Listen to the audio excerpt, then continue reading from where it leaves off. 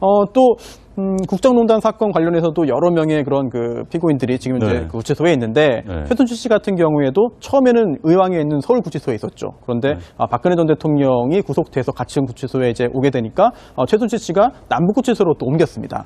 그런데 어, 최순실 씨가 남부구치소가 이제 지하철 천왕역 인근에 있는데요. 네. 어, 이제 재판을 받는 중앙지법하고는 거리가 꽤 멉니다. 그러다 보니까 너무 멀다라고 어, 불만을 제기해서 다시 이제 동부구치소로 이제 옮겨지게 됐는데 최순실 씨는 결국 지금 세 번째 구치소에 이제 가게 된 셈이 됐죠. 구치소를 세 번이나 옮겨 다녔다. 아이고